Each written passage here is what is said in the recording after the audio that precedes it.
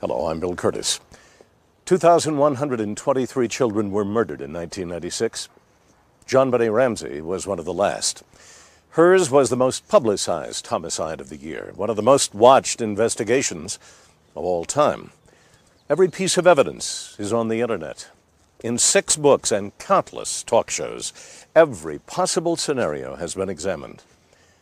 But what went wrong in the investigation into the murder of the little girl who lived in this house?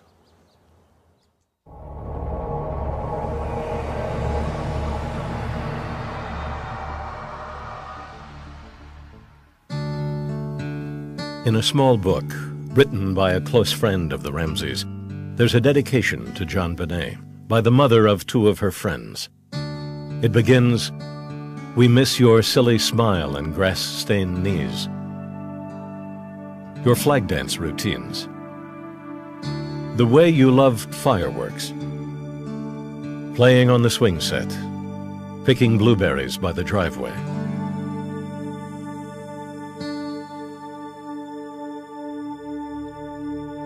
This is the image of JonBenét all those closely involved with the case have had throughout the three and a half year investigation into her murder. They see not a child beauty queen, but a six year old little girl. The fact that they've been unable to solve her murder has been a frustrating experience for all of them. JonBenét's parents, the Boulder police, and the DA. You get one cop throwing his badge down because he doesn't think you're being tough enough on the Ramseys, and you have another detective throwing his badge down because he thinks you're too tough.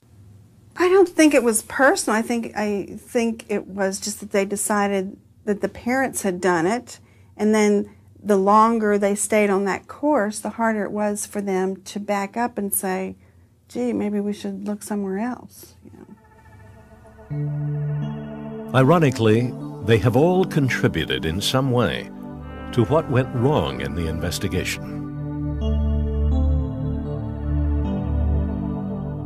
When we looked at the Ramsey case, we found a series of conflicts and missteps that still have not been resolved.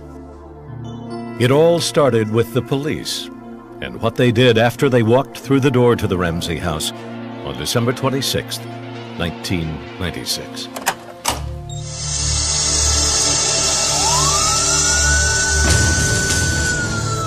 The 911 call comes in at 5:52 a.m. A child has been kidnapped. 911, what's your emergency? What will become one of the most notorious ransom notes of all time has been found on steps inside the house. The first question has always been, is the FBI, with its expertise in kidnapping cases, called in? We were told the FBI was on its way and it would be a couple hours. Um, and of course, they never came. The Boulder police would only talk to us off camera.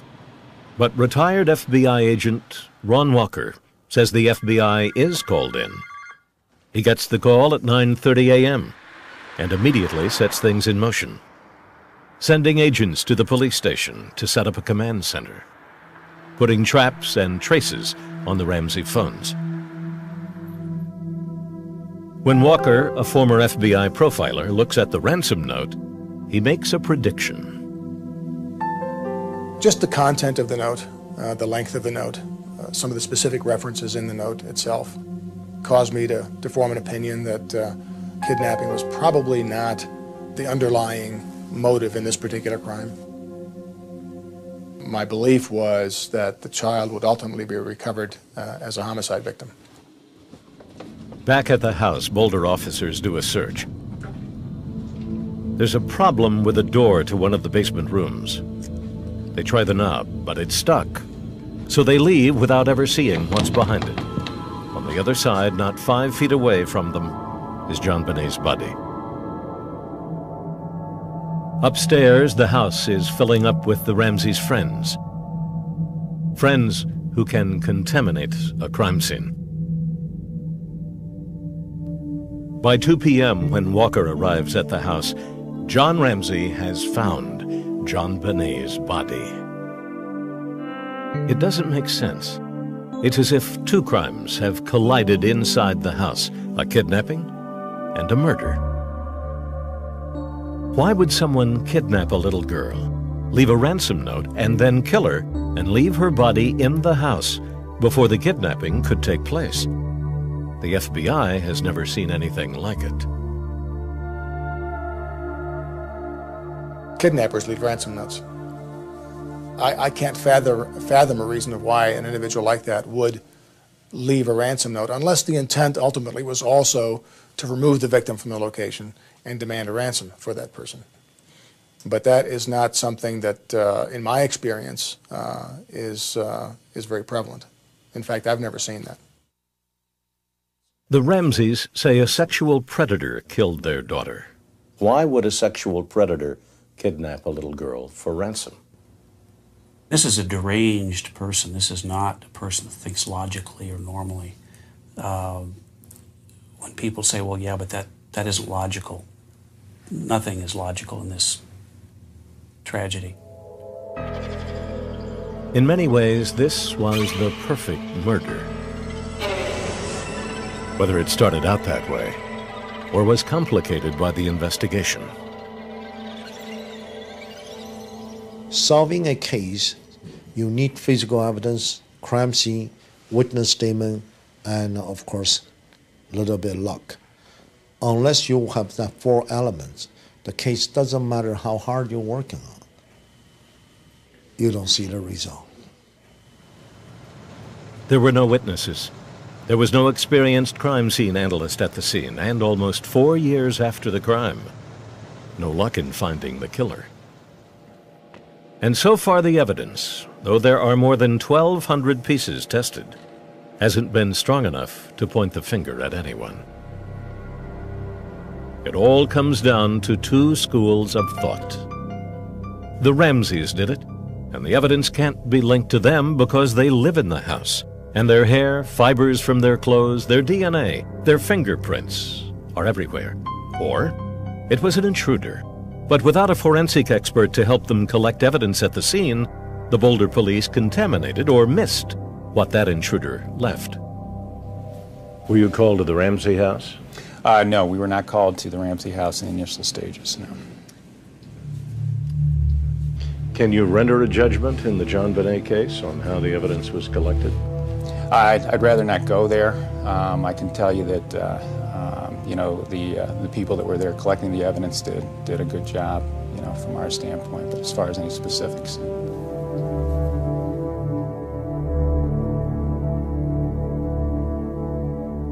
There's no doubt there are mistakes made in the first 24 hours of the investigation. Even Boulder's chief of police at the time, Tom Koby, admits it. It is accurate to say that if we had it to do all over again, we would do it differently. It is also accurate to say that we responded well to what we thought we were confronted with. But the key to where the investigation goes wrong is unquestionably what happens once the kidnapping turns out to be a homicide. And by law, the FBI is no longer in charge. For the first time, Ron Walker explains what happened. I offered at that point uh, any and all FBI resources that were available uh, to assist the Boulder Police in their investigation. And uh, that offer uh, was declined.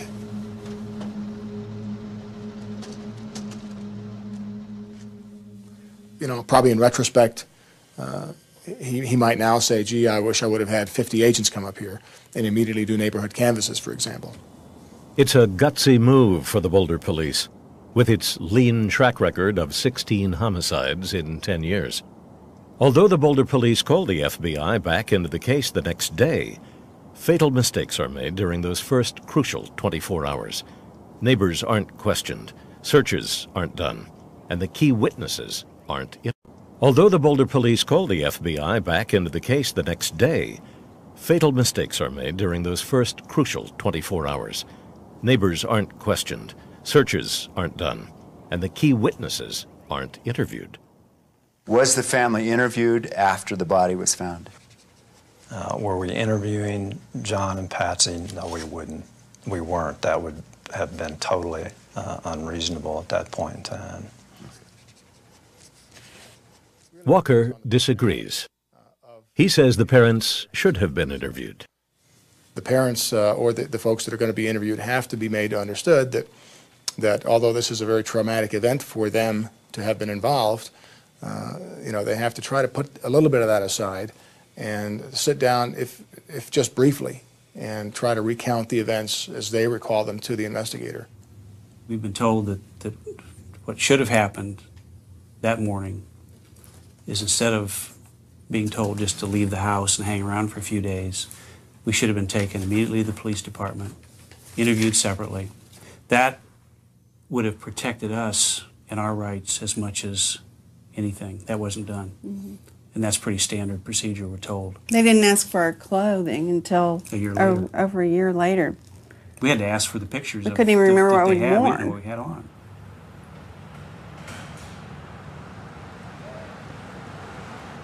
Some experts who call to offer help and are refused say the real problem is that the people in charge are old school cops fighting an old fashioned turf war.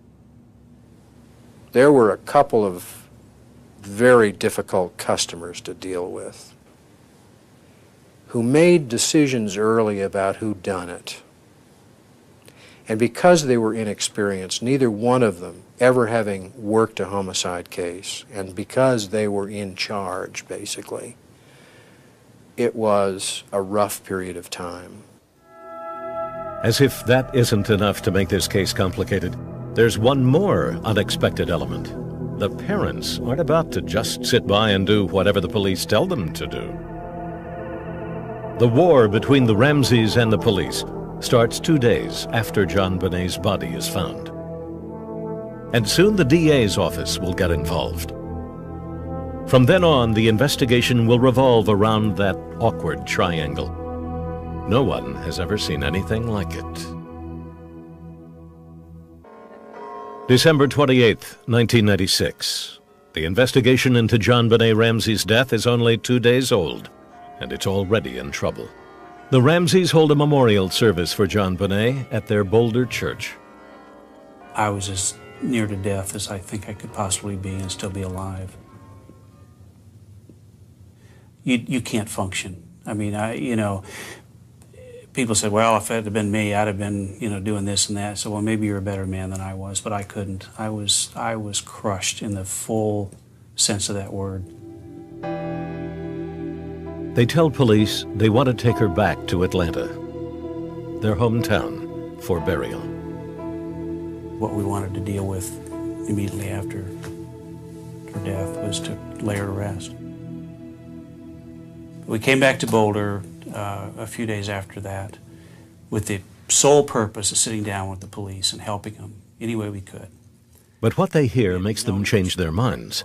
Their friends tell them the police are threatening the unthinkable to hold JonBenét's body until the couple agrees to interviews.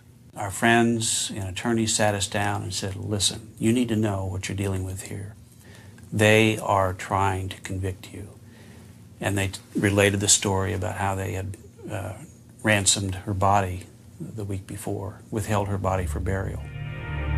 In a letter to us, Boulder County Coroner John Meyer confirmed that the police had considered holding JonBenét's body. For an extremely religious family like the Ramseys, it is unforgivable. To think that uh, uh, they would withhold her body for proper burial was was uh, was was barbaric, absolutely barbaric. Not to mention cruel. I say, it was a deep blow that um, that really widened a chasm of trust. This becomes the moment when the investigation splits into warring factions. The Ramseys go on the offensive, hiring arguably the best attorneys in Denver. Then, while the police continue to wait for their interviews, the Ramseys do one with CNN. There's no question the police are focused on the Ramseys from the beginning of the case. FBI statistics pointed them in that direction. I'm not familiar with anywhere uh, a young child was killed in the home and the, uh, the suspect ultimately did not turn out to be a family member. It might not have been a parent, but it could have been a brother or a sister or, or uncle or, or some other family member. What I've learned, eh, both in our experience and looking at similar situations, is 100% of the time the police always focus on the parents. We understand you got to look at us. We're the parents. We're in the house. But for goodness sake, don't stop there. But they did. Why shouldn't they hire attorneys? Every day in newspaper headlines across America, there are stories about innocent people on death row. Once the police lock in on you, whether you're guilty or innocent, you could be in big trouble. And I think you and I, as lawyers, would, would advise our clients, or, or would advise a friend in this situation get a lawyer. I think we would. I mean, I know I would. This is when DA Alex Hunter enters the picture. He comes to the case with 25 years' experience, ready to do what the police have not. He calls in experts like Barry Scheck and Dr. Henry Lee from the O.J. Simpson trial, and puts together a task force of DAs that include Dave Thomas of Jefferson County, who will go through his own well publicized tragedy in Littleton, Colorado.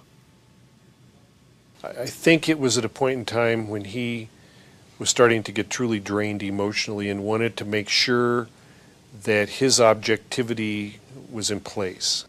Make sure I'm doing the right thing. Let's talk about this, and if maybe you can think about uh, things that I haven't thought about. When you have one of those really tough, gut wrenching cases, I think it is helpful. What Hunter doesn't see coming is John Ramsey's lawyers, Haddon, Morgan, and Foreman. The National Law Journal lists Haddon as one of the nation's top white-collar crime attorneys. Haddon's firm pulls out the stops on the Ramsey case. Within days, the Ramseys put together a team that includes a media relation consultant and their own private investigators. They take out ads offering rewards. Publish sections of the ransom note in the local newspaper, asking if anyone recognized the handwriting. They start their own website and hotline. We had a lot of investigative work going on right from the beginning when we realized that uh, the police just weren't cutting it. Depending on your point of view, the Ramseys are either trying to generate leads the police aren't, or they are diverting attention from themselves. How much did Mr. and Mrs. Ramsey, either uh, consciously or unconsciously or through their handlers, um, attempt to control this investigation and perhaps attempt to move the investigation away from them? I think that's something that no one will really ever know over time. And then the final straw. The Ramsey's attorneys lay out conditions for how their clients will be interviewed. The interviews won't last more than two hours and will take place at Haddon's offices. The Ramseys will be interviewed together, and Patsy's doctor, as well as their counsel and private investigators, will be present. The police response is an emphatic no. January passes. February, March, and still no interviews. Well, it puts the investigators at a disadvantage because simply they don't have the information from the parties that are really most crucial to the reporting of the event. In April, Alex Hunter steps in. When we got to around April, and this case was stalled the decision was made we need to interview these people. The police accuse Hunter of doing some unconventional, if not questionable, things to get the interviews, which appeared to some to be favoring the Ramseys. Did you give the Ramsey attorneys evidence um, to get the April interviews? No evidence in this case was given to the Ramseys that was not the product of a joint decision between Koby, Commander Eller, and my people. The Ramsey attorneys say they want to see their client's statements from December 26th. It was a prerequisite to that interview. And I felt that was not giving up anything that I felt was significant. But the police do. They believe Hunter is allowing suspects to review their statements for discrepancies. The relationship between the DA and the police begins to crumble. Like everything else in this case, the rift, as it becomes known, goes public. You know, in the 25 years before this case came in, it was a cakewalk. So this has been a real challenge, which I feel grateful to have had the opportunity, believe it or not, to try to meet. Um, it would have been very easy to go some different directions. You know, I mean, I had some people say to me, "Let's file a case, lose it, then you can write a book and make a couple of million dollars." You know, I mean, that that's not how I think the American prosecutor operates in this country, and I'm proud. I, I'm proud to be an American prosecutor. By 1997, the three sides of the Ramsey investigation, the police, district attorney, and the Ramsey team, were all pulling in different directions. Under the glare of the media's spotlight, the investigation began to buckle. This media person asked me a question. He said, Tom, why are you so mad at us? And I said, I'm not mad at you. He said, Don't you understand that we know the Ramseys did it and we're going to help you get them?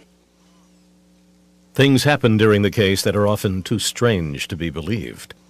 I said, Do you hear what you just said? How wrong is that? How scary is that?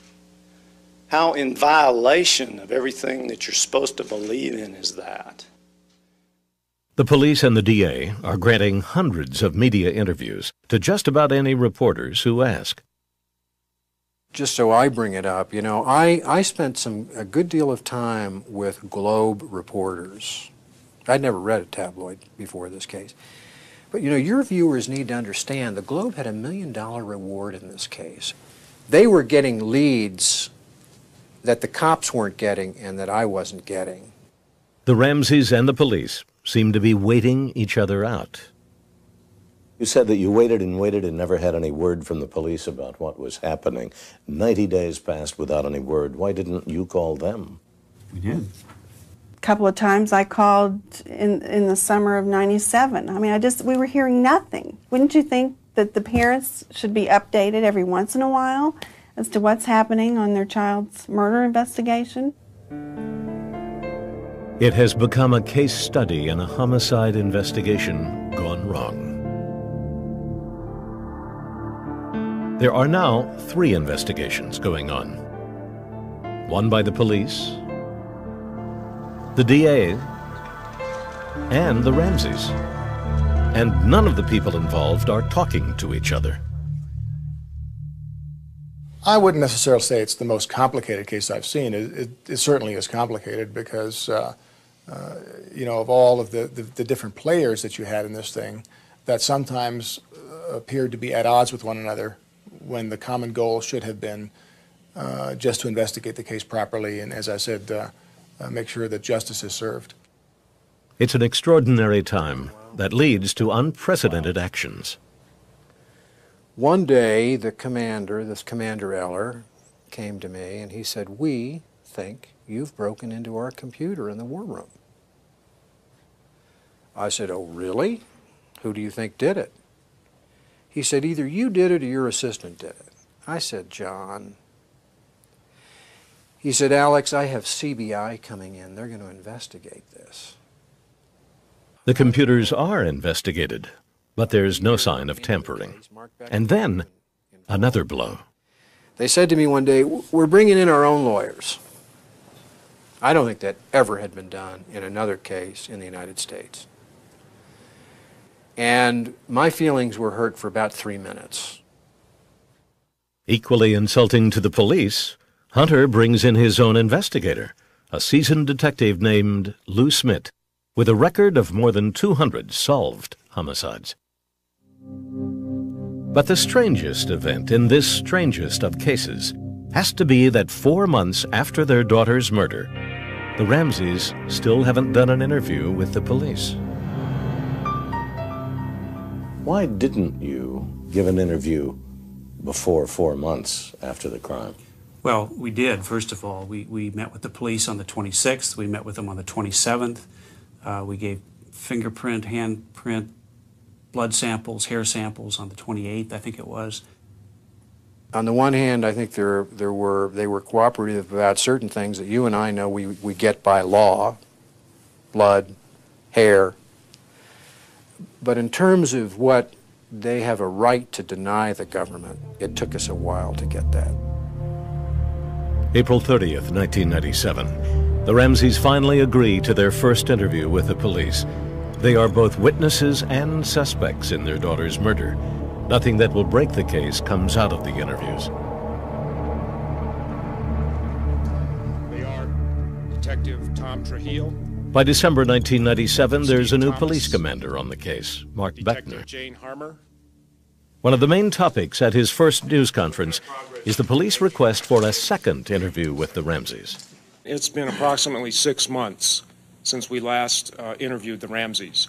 During that time, there's been a lot of investigation. We've uncovered a lot of new information. We have a lot of new questions, and uh, they can help us answer those questions. Uh, they have indicated every willingness to cooperate and have done so uh, during my nine weeks, anyways. And um, so I expect that uh, we'll get that done uh, in the near future. But it won't happen. It will be three years before the Ramseys and police talk again. They will do two subsequent interviews with the DA. Their only stipulation, to which the DA agrees, is that the police are not involved. The relationship between the DA and the police will improve with Mark Beckner in charge.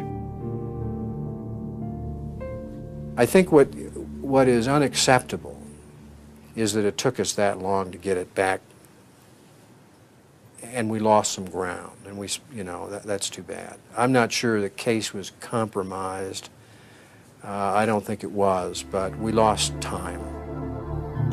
But if the DA and the police eventually do get back on track, there will never be a ceasefire with the Ramseys.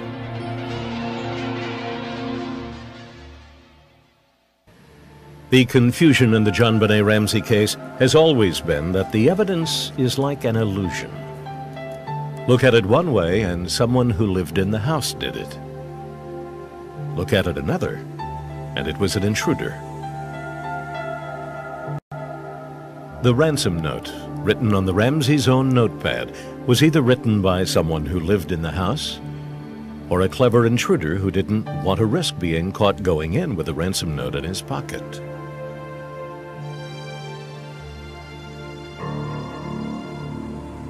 The DNA found under JonBenét's fingernails and in her underpants either belongs to an intruder or is a mixture of her blood and something else.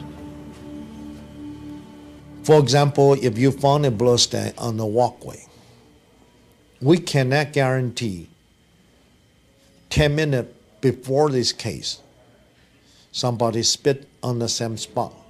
Subsequently, the blood stain deposited on that area. You're going to have a mixture.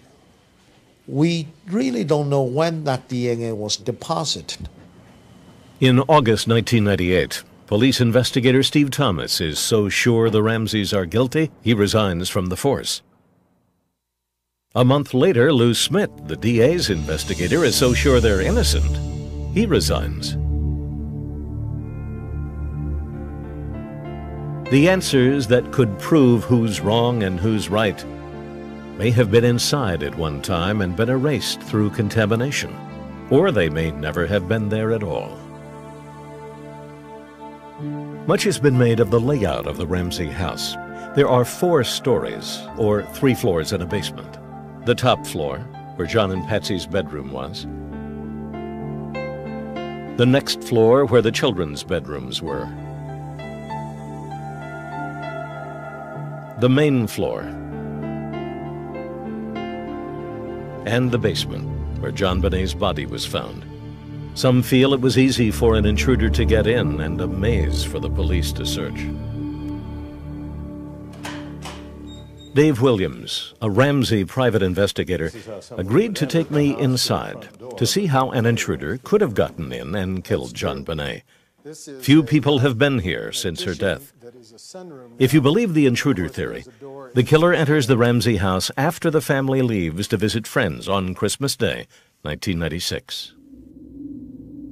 Hiding in the house, he waits until the Ramseys come home. They go to bed early the children on the second floor, the Ramseys on the third.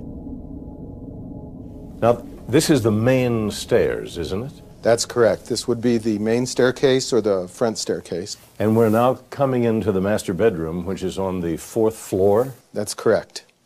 This master suite, um, when it had furniture in it, the bed was towards the front of the house.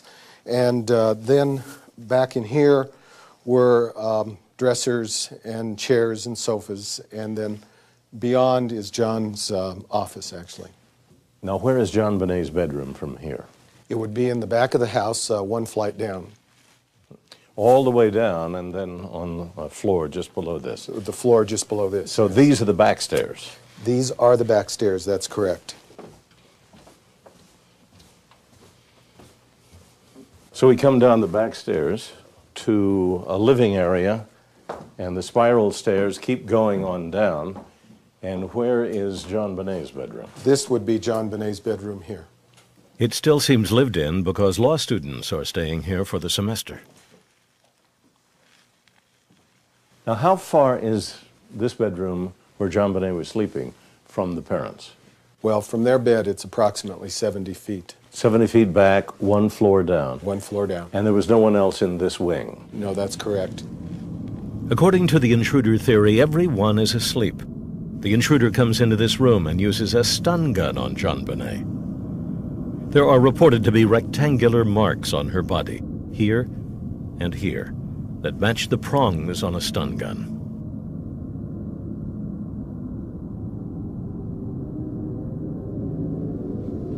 The intruder takes JonBenét down the spiral steps leading from her bedroom. Where was the ransom note found? Uh, either on this stair or the first stair. Now, where would be the likely route onto the basement? Well, it would be one of two ways, either through the kitchen or this way through uh, what we call the butler's pantry. So you have to drop down an additional half story to get to this level of the house. You pass a door. Why couldn't or wouldn't somebody just walk out? This may have never really been a kidnapping. They did not want to go outside. They were making their way to the basement.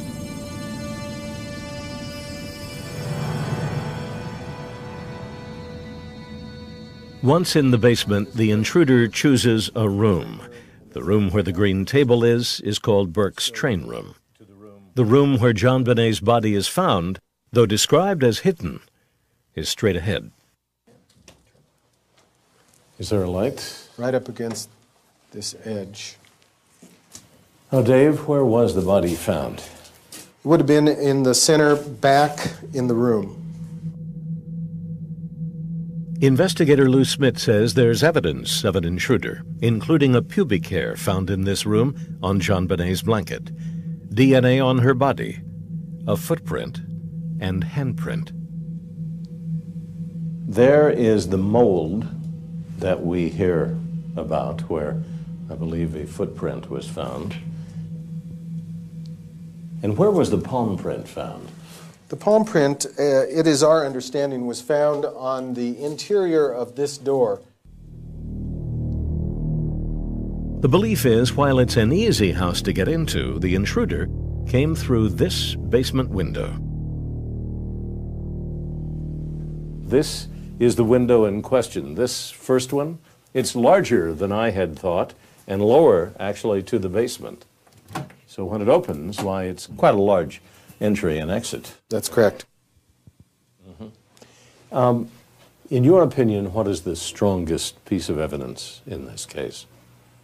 Well, as far as the intruder theory goes, it would have to be the evidence in and around this basement window. Evidence, Williams says, that the grate was moved and barks and twigs cleared from the center window where the intruder entered the house.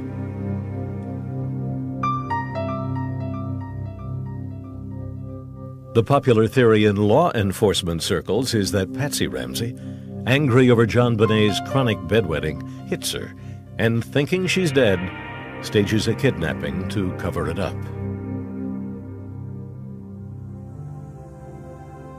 The problem with the Ramseys as suspects is that they don't seem to fit the profile of parents who killed their children.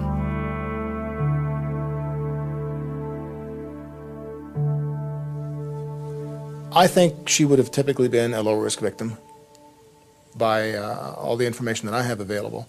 Uh, there was nothing in that home that would have indicated to me that uh, she was at high risk for violent victimization. At the core, I don't believe that, that either one of these people are the ogres or the evil or bad people that the, that the media has made them out to be. Uh, having said that, uh, good people can do bad things, and bad things can happen to good people. The big question is could parents with no history of abuse use something like this on their own daughter? This is the garrote uh, tied around apparently a paintbrush handle. Here you have a kind of a noose created at one end, a handle to pull it back and this is a close up of that knot. That knot looks pretty significant. I don't think I could have tied that knot. This is not the way uh, a parent would kill their child. Well, as much as it pains me to say this, uh, yes. Um, I've seen parents who have decapitated their children. I've seen cases where parents have drowned their children in bathtubs. I've seen cases where parents have uh, have strangled their children, uh, have placed them in paper bags and smothered them, have strapped them into car seats and driven the car into a body of water. Um, any way that you can think of that a person can kill another person, um, almost all those ways are also ways that parents can kill their children. Are there other suspects out there that should be questioned? There are other suspects. Once you believe that there's a possibility that someone entered this home, then there's a, whole world of suspects as opposed to just the people in this house.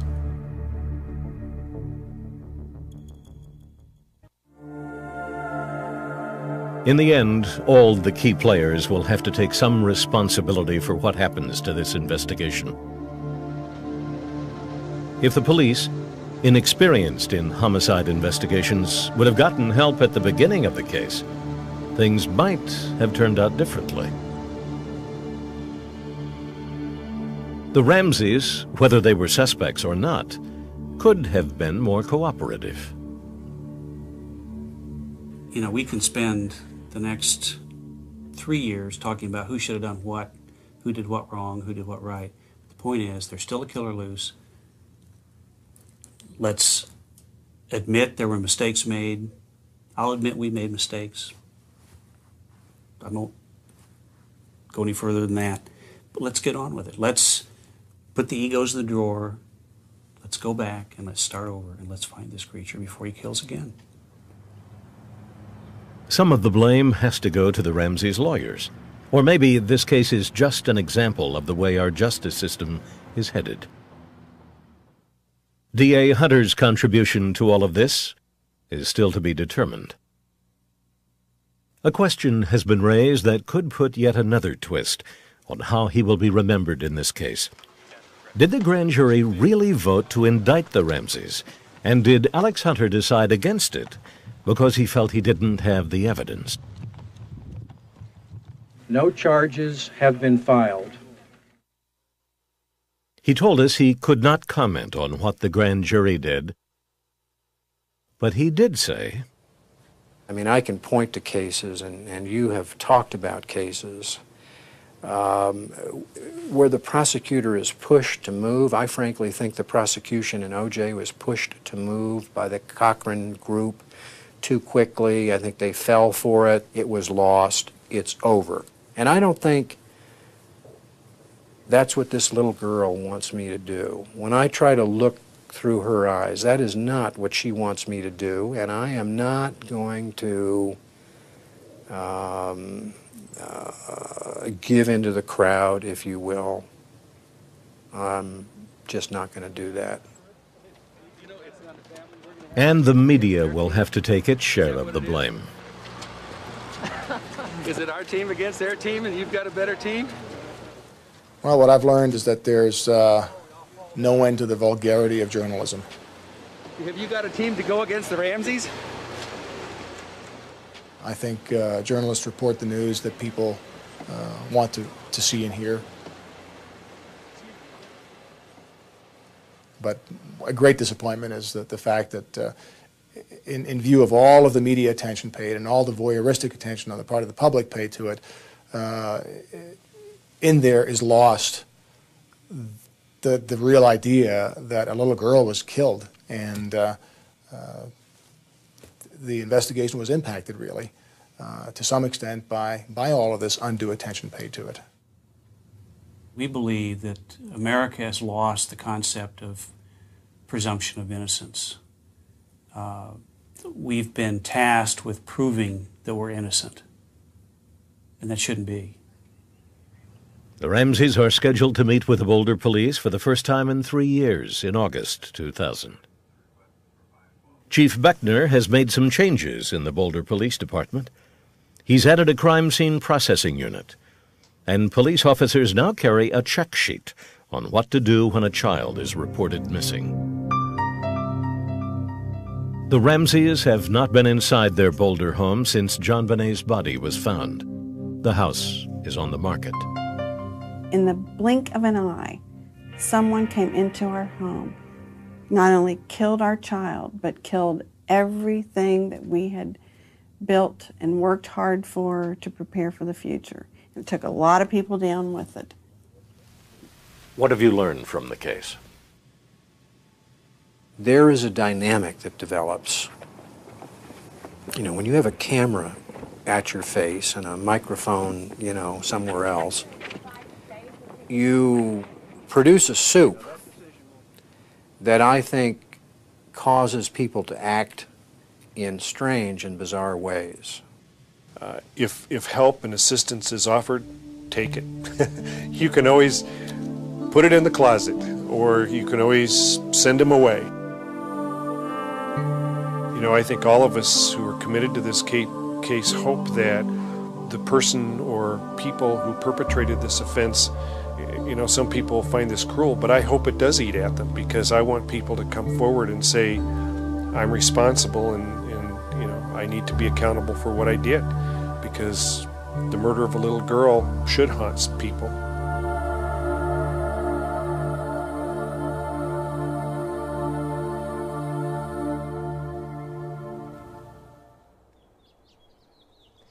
Four people resigned from the Boulder Police Department as a result of the Ramsey case, including the chief and the commander of detectives. After 27 years as district attorney, Alex Hunter is leaving office in January. The Ramseys have been forced into a more private lifestyle than they would have wished for their son. Such mayhem could almost be expected since the killer is still free. In the end, the strongest contribution to history made by this case could be that it stands for a new principle of law. In court, the presumption of innocence prevails, but in the court of public opinion, the presumption of guilt is stronger.